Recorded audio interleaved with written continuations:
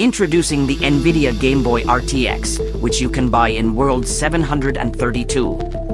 The NVIDIA Game Boy RTX will be randomly generated, and therefore it's unique for every customer.